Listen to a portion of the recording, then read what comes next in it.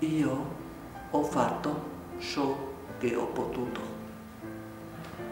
E cioè testimoniare la mia fede e soprattutto l'amore di Cristo verso tutti. E questo io penso soltanto può cambiare i cuori.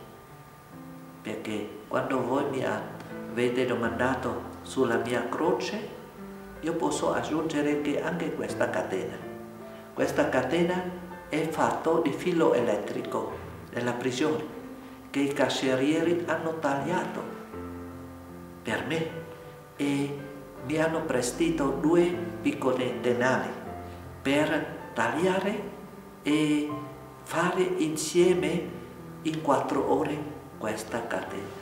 La testimonianza più grande è l'amore, perdono, la riconciliazione.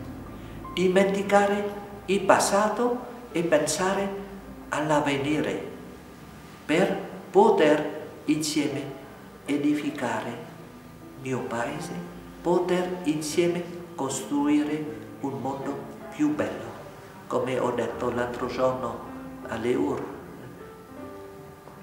L'avvenire è più bello che tutti i passati.